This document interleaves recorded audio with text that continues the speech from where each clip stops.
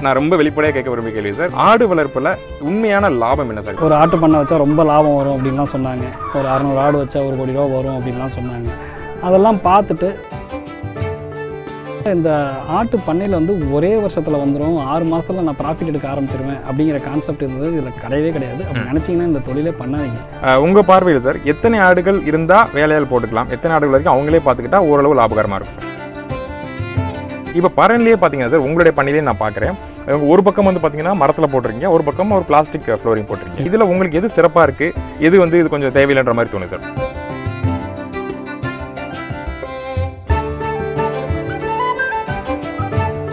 நவீன உலக நேர்களுக்கு வணக்கம். நவீன சேனல்ல பல பதிவுகளை நிறைய ஆட்டு பண்ணையில காட்டியிருப்போம். இன்னைக்கு வந்திருக்க பண்ணை பாத்தீங்கன்னா சிதம்பரம் பக்கத்துல புவனகிரி பக்கத்துல திரு லட்சுமி நரசிம்மன் அவங்க. கிட்டத்தட்ட ஒரு ஐநூறுக்கும் மேற்பட்ட ஆடுகள் வளர்த்துட்டு இருக்காங்க கொட்டில் முறையில் வளர்த்துட்டு இருக்காங்க. இன்னைக்கு வந்து ஆட்டு பண்ணையில வந்து நம்ம வந்து நோய் மேலாண்மை பத்தி தீவன மேலாண்மை பத்தி ஆடுகள் பராமரிப்பு பத்தி கேட்க போறது இல்ல நிறைய வீடியோக்கள் யூடியூப்லயே இருக்கு. நிறைய விஷயங்கள் கேட்டு தெரிஞ்சுக்க போறோம். அதுல முக்கியமான விஷயம் நீங்க பல பதிவுகள்ல பல சேனல்கள்ல பல நாளிதழ்களில் பார்த்திருப்பீங்க. நூறு ஆடு வளர்த்தால் இத்தனை லட்சம் வருமானம் இத்தனை கோடி வருமானம் நிறைய பார்த்திருப்பீங்க. நாங்க சொல்ல வர்றது ஆடு வளர்த்து லாபம் இல்லைன்னு சொல்ல வர்றேன். ஆனால் அதில் எவ்வளவு லாபம் இருக்குன்ற உண்மையான ஒரு வெளிப்படையான தன்மையை எங்கேயுமே யாருமே இது வரைக்கும் முழுசாக சொல்கிறதில்ல ஐயா ஐநூறு ஆடுகள் வளர்க்குறாங்க. நூறு ஆடு வளர்த்தா வருஷ கடைசியில் இவ்வளவு செலவு இருக்குது இவ்வளவு எல்லா செலவும் இவ்வளோ லாபம் வந்துச்சுன்ற முக்கியமான விஷயத்தை கேட்டு தெரிஞ்சுக்க போகிறோம் கிட்டத்தட்ட ஐநூறு ஆடுகள் செம்மறி ஆடுகள் இருக்குது தலைச்சேரி இருக்குது உஸ்மானபாடி இருக்குது பீட்டல் இருக்குது பீட்டல் வந்து ஒரு கிடா வச்சுருக்காங்க ஒரு நூற்றி நூறு கிலோக்கு மேலே. ஸோ இது எல்லாத்தையும் பார்க்க போகிறோம் முக்கியமான கேள்வி சார்கிட்ட வந்து எத்தனை ஆடுகள் வளர்க்குறாங்க எக்ஸாக்டாக செலவு போக அவங்களுக்கு வருட கடைசியில் எவ்வளோ லாபம் கிடைக்கின்ற பார்க்க போகிறோம் ரொம்ப ஒரு ஐ ஓப்பனிங் வீடியோவாக இருக்கும். வீடியோ முழுசாக பாருங்க. வாங்க சாரை பார்க்கலாம். சார் வணக்கம் சார் வணக்கம். உங்கள் பெயர்? நம்ம பண்ண எங்கே அமைஞ்சிருக்கு சார் என் பேர் லக்ஷ்மி நரசிம்மன். இந்த பண்ணை பேர் வந்து ஸ்ரீ சத்யசாய் கோட் ஃபார்ம்ஸ். இது புவனகிரி தாலுக்காவில் இருக்குது சார் இது. மன்றாயம்பட்டுங்கிற ஒரு கிராமத்தில் வச்சுருக்கேன். ஓகே கடலூர் டிஸ்ட்ரிக்ட் சார் இது. ஓகே சார் சார் உங்களை பற்றி நீங்கள் பண்ண ஆரம்பிக்க முன்னாடி என்ன பண்ணிட்டு இருந்தீங்க? என்ன படிச்சிருந்தீங்க சார் இப்போ என்ன எப்படி பண்ண ஆரம்பிச்சீங்க சார் சார் நான் சென்னையில் ஒர்க் பண்ணிட்டு இருந்தேன் தான் சார் நான். ஃபினான்ஸ் பிபிஓவில் அசிஸ்டன்ட் மேனேஜராக இருந்தேன். அது முடிச்சுட்டு பிஸ்னஸ்னு வரும்போது வேறு ஒரு பிஸ்னஸ் பண்ணிட்டு இருந்தேன். ஒரு எயிட் இயர்ஸ் ஆன பிறகு இன்னொரு பிஸ்னஸ் பண்ணலாம் அப்படின்னு யோசிச்சும்போது ரொம்ப நாள் கழித்து ரொம்ப யோசித்து ஒரு ஆட்டு பண்ணை வச்சா ரொம்ப லாபம் வரும் அப்படின்லாம் சொன்னாங்க. ஒரு அறநூறு ஆடு வச்சா ஒரு கோடி ரூபா வரும் அப்படின்லாம் சொன்னாங்க. அதெல்லாம் பார்த்துட்டு சரி என்ன பண்ணலாம் அப்படின்னு ஒரு ரெண்டு வருஷம் இதில் பிளான் பண்ணி எங்கிட்டையும் இடம் இருந்தது. இது எங்கள் சொந்த இடம். ஸோ நம்ம இடத்துல ஒன்றும் பெருசாக இன்வெஸ்ட்மெண்ட் இல்லாமல் என்ன பண்ண முடியும்னு வச்சுக்கோங்க இந்த பிஸ்னஸ் ஆரம்பித்தோம் ரெண்டு வருஷம் ஆகுது சார் இது. ரெண்டு ரெண்டரை வருஷம் ஆயிடுச்சு ஆரம்பிச்சு. மொத்தமாக எத்தனை ஆடுகள் இருக்குது சார் நம்ம பண்ண எவ்வளோ ஸ்கொயர் ஃபீட்டில் இருக்குது எத்தனை ஆடுகள் என்னென்ன ஆடுகள்லாம் இருக்குது இது புல் மட்டும் இருபது ஏக்கர் கிட்டத்தட்ட போட்டிருக்கோம் சார் பண்ணையோட ஷெட்டு போட்டிருக்கிறது நாலாயிரத்தி எண்ணூறு ஸ்கொயர் ஃபீட்டு ஒரு ஐநூறு ஆடு பக்கத்தில் இருக்குது சார் கிட்டத்தட்ட. ஒரு அது கொஞ்சம் அதிகம் ஒரு இருபது முப்பது டிஃப்ரென்ஸில் இருக்கலாம் அது. என்னென்ன ஆடு என்னென்ன வகை ஆடுகள்லாம் வச்சுருக்கீங்க சார்? தலைச்சேரி தாயாடுகள் வச்சுருக்கோம் சார். ஒரு நூற்றி இருபது தாயாடுகள் வச்சுருக்கோம் சார். தலைச்சேரி ஒஸ்மனாபாடி கலந்து வச்சுருக்கோம். செம்மறியில் பெட்டை ஆடுகள் ஒரு நூற்றி எண்பது வரைக்கும் இருக்குது சார். அதுக்கப்புறம் கெடா குட்டிகள் வாங்கி ஃபேட்டனிங் செம்மறியில். அது எப்பயுமே எங்கிட்ட கான்ஸ்டண்ட்டாக ஒரு இரநூத்தம்பது ஆடுலேருந்து முந்நூறு ஆடு வரைக்கும் எப்பயுமே இருந்துட்டு இருக்கும் சார். ஃப்ளோட்டிங்கில் இருக்கும் சார் எப்பயுமே. இந்த மூணு விதமாக இந்த பிஸ்னஸ் பண்ணிட்டு இருக்கோம் சார் நாங்கள் சார் ரொம்ப தெளிவாக சொன்னீங்க. எனக்கு வந்து நிறைய கேள்விகள் இருக்கு சார். ஒரே பதில கேட்க முடியாது. முதல்ல நான் ரொம்ப வெளிப்படையாக கேட்க விரும்பிய கேள்வி சார். நீங்களும் அந்த மாதிரி பார்த்துட்டு தான் பண்ணி ஆரம்பிச்சிருப்பீங்க. ஆடு வளர்ப்புல உண்மையான லாபம் என்ன சார்? இப்போ நீங்க தோராயமா நீங்க ஐநூறு ஆடு கணக்கு சொன்னாலும் சரி இல்ல நூறு ஆடு கணக்கு சொன்னாலும் சரி பத்திரிகையில போடுற மாதிரி ஒரு சில சேனல்ல காட்டுற மாதிரி கோடி ரூபாய் வருமானம் லட்ச ரூபாய் வருமானங்கள் இருக்குதா? எல்லா செலவும் போக ஒரு தோராயமாக ஒரு நூறு ஆடு வளர்த்தா ஒரு வருட கடைசியில் எவ்வளோ தான் லாபம் எடுக்க முடியும் சார்? சார் இங்கேயே நாங்கள் பார்த்தீங்கன்னா மூணு விதமான செக்ரிகேட் பண்ணியிருக்கோம் ஒரு பிஸ் இந்த பிஸ்னஸை ஒவ்வொன்றுத்துக்கும் ஒரு லாபம் இருக்குது சார் இதில். ஒரு ஆடு வந்து ஒரு பதினஞ்சாயிரம் ரூபாய்க்குள்ளே நீங்கள் ஒரு ஆடு வாங்குறீங்க அப்படின்னா அது எட்டு மாதம் சார் ஒரு குட்டி போட்டு அது கெஸ்டேஷன் பீரியட் நூற்றி ஐம்பது நாள் ப்ளஸ் ஒரு மூணு மாதம் திரும்பி சனப்பிடிக்கிறதுக்கு ஸோ ஒரு குட்டி போடுறதுக்கு ஒரு குட்டி தான் போடுதுன்னு வச்சுக்கிட்டா கூட எட்டு மாதத்துக்கு ஒரு குட்டி போடுதுன்னு வச்சுக்கலாம் சார் நம்ம. ஒரு தாயாடு சொல்கிறேன் நார்மல் வெள்ளாடு தலைச்சேரியோ ஒஸ்மனாபாடியோ எதுவுமே. அந்த குட்டியை வந்து நீங்கள் ஒரு ஆறு மாதத்தில் இருபது கிலோவில் விற்கும்போது கறிக்கு தான் சார் நான் டார்கெட் பண்ணுறது அதுதான் என் கஸ்டமர் யாருனாலும் கடைசியில் கறிக்கு தான் விற்க முடியும் ஆடுன்னா. ஸோ த்ரீ ஃபார்ட்டி அந்த ரேஞ்சில் தான் சார் நான் கொடுக்குறேன். ஒரு சிக்ஸ் டுவெண்ட்டி டூ கேஜி டுவெண்ட்டிலேருந்து டுவெண்ட்டி டூ கேஜி சிக்ஸ் மந்த்ஸில் வந்தோடனே அது முந்நூற்றி நாற்பது ரூபா உயிர் எடைக்கு கொடுக்குறேன் சார். அப்படி பார்த்தா ஒரு மூவாயிரத்தி ஐநூறுரூவா அவங்க அம்மா சாப்பிட்டது இது சாப்பிட்டது எல்லாத்துக்கும் இதுக்கு பராமரிப்பு செலவு அவங்க அம்மாவுக்கு பராமரித்த செலவு இதெல்லாம் பார்த்து ஒரு மூவாயிரத்தி ஐநூறுரூவா கிடைக்கும் சார் மிஞ்சி மிஞ்சி போனால் இதில் நீங்கள் நான் பண்ணுற செலவுக்கு இந்த ப்ராஃபிட் சொல்கிறேன் இதில் வேறு ஏதாவது நீங்கள் உங்களோட ரா மெட்டீரியல் காஸ்ட் வந்து நீங்கள் கான்சன்ட்ரேட் ஃபீட்லையோ இன்னும் வந்து ட்ரை மெட் ட்ரை ஃபாடர் உங்களுக்கு கொடுக்குறதோ ஏதாவது கம்மியாக இன்னொரு ஐநூறுரூவாயிலேருந்து ஒரு எண்ணூறுரூவா உங்களுக்கு அதிகமாக கிடைக்கிறது சான்சஸ் இருக்குது சார் நூறு ஆடு வளர்க்குறோம்னு வச்சுக்கிட்டா நூறு ஆடுகள் இருக்குன்னா தாயாடுகளே இருக்குன்னு வச்சுக்கிட்டா கூட ஒரு வருட கடைசியில எவ்வளவு தோராயமான வருமானம் கிடைக்கும் சார் அஞ்சே முக்கால்லேருந்து ஏழு லட்சத்துக்குள்ளே பண்ணலாம் சார் ஆ. ப்ராஃபிட் கிடைக்கும். ப்ராஃபிட் நான் சொல்கிறேன் இது ஆரம்பத்துலலாம் கிடைக்காது சார். இந்த ப்ராஃபிட் நீங்கள் இது ஸ்டெபிலைஸ் ஆகிறதுக்கு ரெண்டு வருஷம் ரெண்டரை வருஷம் கண்டிப்பாக ஆகும். நாங்கள் இது வரைக்கும் ப்ராஃபிட் எடுத்துட்டோம்னாவே இப்போ தான் நாங்கள் ப்ராஃபிட்டை நோக்கி போகிறதுக்கு ஸ்டெப்ஸ் போயிட்டு இருக்குதுன்றதான் சொல்லலாம். நெகட்டிவ்லேருந்து பாசிட்டிவ் நோக்கி போய்கிட்டு இருக்கோம். அதனால் இந்த ஆட்டு பண்ணையில் வந்து ஒரே வருஷத்தில் வந்துடும் ஆறு மாசத்துல நான் ப்ராஃபிட் எடுக்க ஆரம்பிச்சிருவேன் அப்படிங்கிற கான்செப்ட் இருந்தது. இதில் கிடையவே கிடையாது. அப்படி நினச்சிங்கன்னா இந்த தொழிலே பண்ணாதீங்க. யாருமே பண்ணுறதுக்கு வராதீங்க. ஆறே மாசத்துல ப்ராஃபிட் எடுக்கலாம். அப்படின்னா நீங்கள் ஃபேட்டனிங் யூனிட் மட்டும்தான் ஆரம்பிக்கலாம். ஒரு நாலு மாசத்துல வாங்கிட்டு வந்து திரும்பி வித்துடணும். வெயிட் அந்த கெடா குட்டிகளை வாங்கிட்டு வந்து உடனே ஃபேட்டனிங் பண்ணி விற்கிறது அது இவ்வளோ ப்ராஃபிட்லாம் வராது சார். ஃபேட்டனிங் பண்ணிங்கன்னா ரொம்ப ப்ராஃபிட் கம்மி. ப்ரீடிங்கோட ஃபேட்டனிங் பண்ணுறதுல ரொம்ப ரொம்ப கம்மி.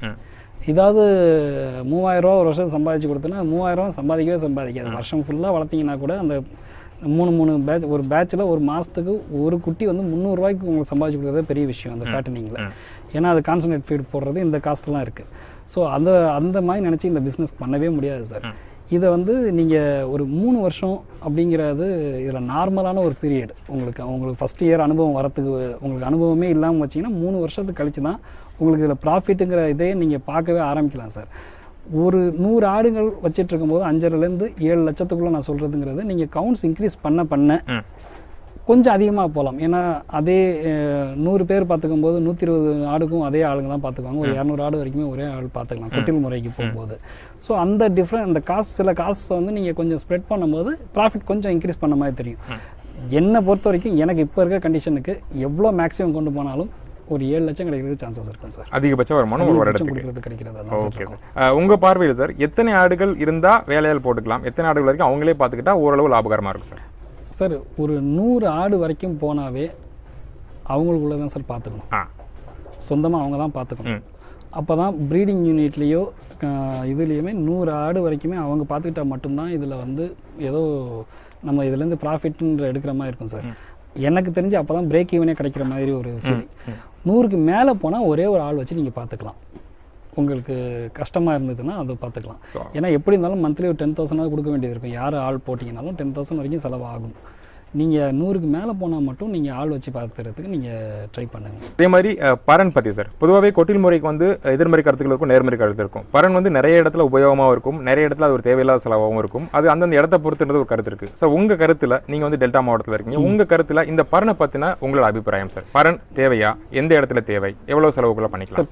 ஆஹ் ஆடை வந்து குட்டில் முறையில் மட்டும்தான் வளர்க்கணும்னு சொல்ல மாட்டேன். குட்டில் முறையிலேயே பரன் போட்டும் வளர்க்கலாம் பரன் போடாமையும் வளர்க்கலாம். கீழேயே வச்சும் வளர்க்கலாம். இல்லை மேய்ச்சல்லையே கூட வளர்க்கலாம். ஒவ்வொன்றுத்துக்கும் ஒரு அட்வான்டேஜ் இருக்குது சார் ஒரு டிஸ்அட்வான்டேஜ் இருக்குது நீங்கள் மேய்ச்சல் முறையில் ஆடு வளரும். அதான் வளர்ந்துக்கும். மேய்ச்சலில். அதுக்கு தேவையானதை அதாவது தேடி பிடிச்சி சாப்பிடும். நீங்கள் ஏதாவது கா சாயந்தரம் கொஞ்சம் கான்சன்ட்ரேட் ஃபீட் கொடுத்தீங்கன்னா போதும். அதே மாதிரி அது சாகவும் செய்யும். ஆடு தானாக வளர்ந்து தானாக சாகவும் செய்யும்.